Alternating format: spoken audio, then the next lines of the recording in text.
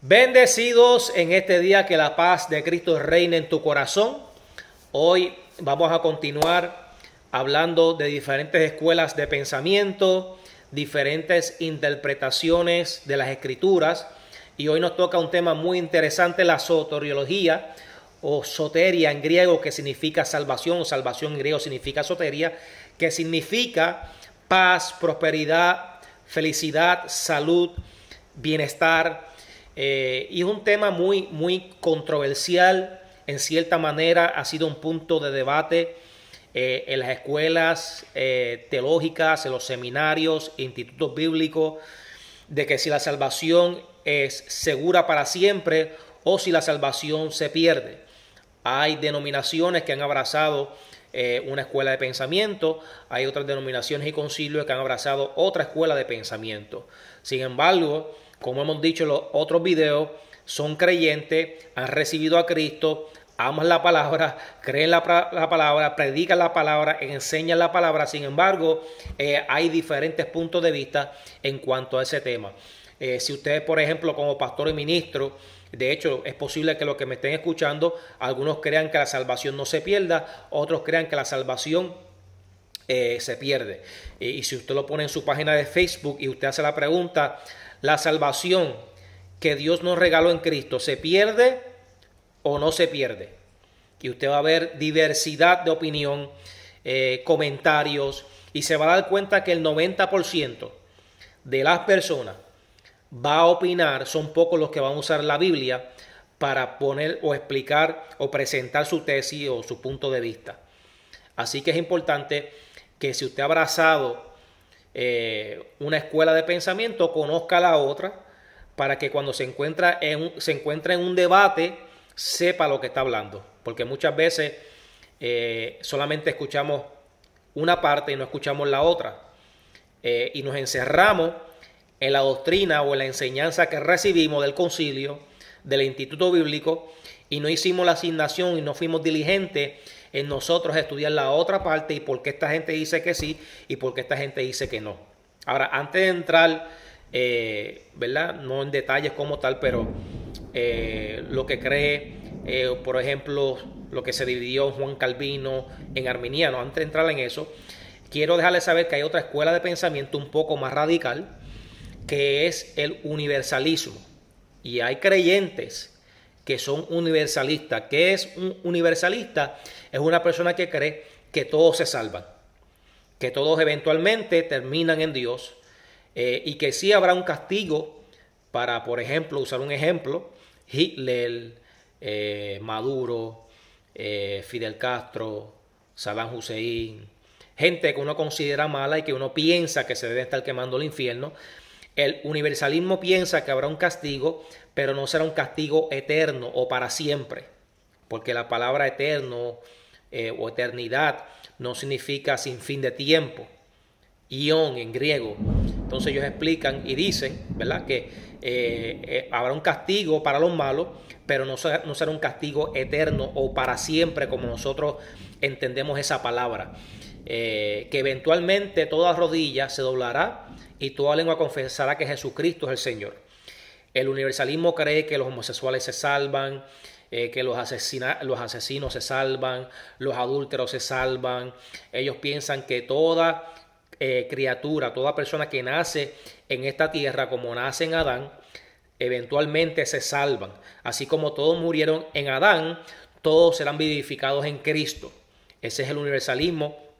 A comienzo de este siglo hubo un hombre eh, muy reconocido eh, en el Evangelio aquí en los Estados Unidos, Carlton Pearson, eh, un teólogo, en mi opinión, yo lo he escuchado varias veces y créeme que si usted va a debatir con ese hombre, tiene que conocer Biblia.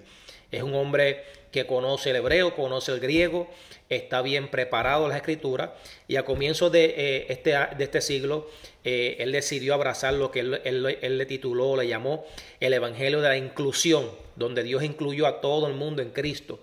Eh, y donde eventualmente todos se salvarán.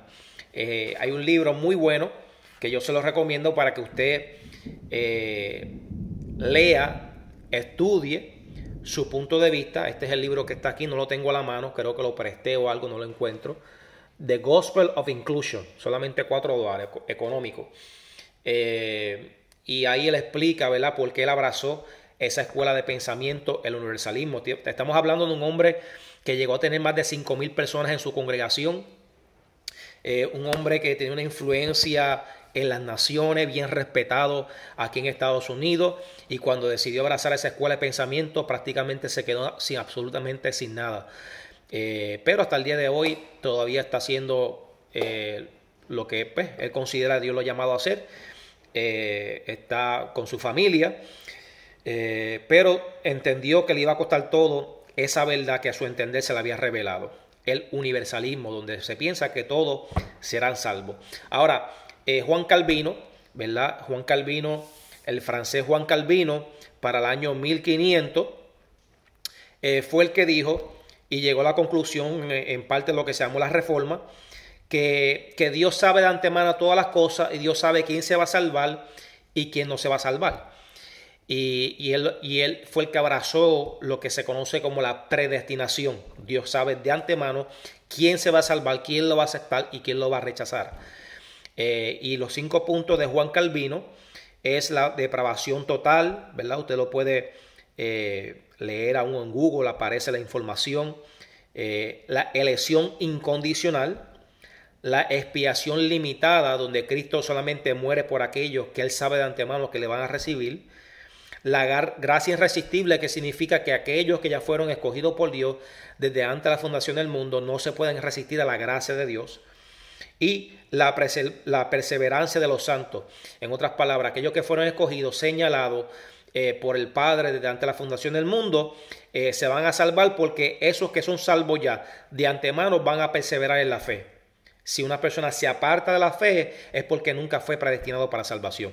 esos son los cinco puntos de Juan Calvino y hay muchas ah, denominaciones como los bautistas eh, que han abrazado lo que es la predestinación y ellos creen en la seguridad de salvación. y hay muchos hermanos, muchos creyentes que creen en la seguridad de la salvación eh, y Juan, Juan, Calvino expuso ¿verdad? Eh, esta, esta, doctrina, esta enseñanza, eh, y obviamente él usa la, la, escritura para probar su punto de vista. Ahora, los alminianos que fueron discípulos de Calvino, hubo un grupo para ese tiempo que contradijo lo que Juan Calvino había dicho para el año 1600 más o menos. De ahí fueron entonces los discípulos de Juan Calvino que pusieron los cinco puntos ¿verdad? de Juan Calvino eh, y lo explicaron porque los arminianos eh, o Jacobo Arminio de Holanda para el año 1700 más o menos, eh, de 1650 a 1700, ellos entonces dijeron lo contrario a lo de Juan Calvino y ellos entonces pusieron, como te digo, expusieron sus cinco puntos de vista y se conoce como los cinco puntos del arminianismo. El número uno, el libre albedrío la habilidad humana. Ellos piensan y dicen que el hombre escoge y decide por Dios, decide por su salvación, eh, decide recibir a Dios o rechazar a Dios. La elección condicional, que en otras palabras todo el mundo tiene la misma oportunidad. La redención universal o expiación general. En otras palabras, lo mismo. Eh, Cristo murió por todos. Eh, el Espíritu Santo puede ser resistido eficazmente, contrario a Juan Calvino, que dice que el que fue predestinado eh, no puede ser resistido porque ya fue predestinado, pero eh, Alminano dice que sí, que una persona puede resistir al llamado de Dios, puede resistir al Espíritu Santo. Y el punto número 5, que un creyente, un cristiano, puede caer de la gracia y puede perder la salvación, contrario a Juan Calvino, que creen que eh, un creyente nunca perderá la salvación. Así que estos son eh, dos escuelas de pensamiento que siempre han chocado y van a chocar. Eh, y obviamente está el universalismo, que es una escuela más radical todavía, que cree que todos se salvan. ¿Qué tú vas a creer? No sé, alto asignación, estudia el universalismo, estudia el calvinismo y estudia el alminanismo y sobre todo estudia soteriología que es el estudio y la salvación. Este es un libro muy bueno, la teología para el día de hoy de Elmer Tower o Town, me lo recomendaron en, la universidad cuando estaba estudiando eh, religiones y filosofía, y ahí hay más de 40 páginas que habla de la soteriología. Así que puedo, espero que esto haya sido alguna bendición. Eh, en otra en el próximo video estaremos hablando de otras escuelas de pensamiento en el judaísmo y eventualmente estaremos hablando de otros temas muy interesantes eh, de lo que es el viejo pacto, nuevo pacto, lo que es reino y todos esos temas que edifican la vida del creyente. Muchas bendiciones y que la paz de Cristo reine en tu corazón.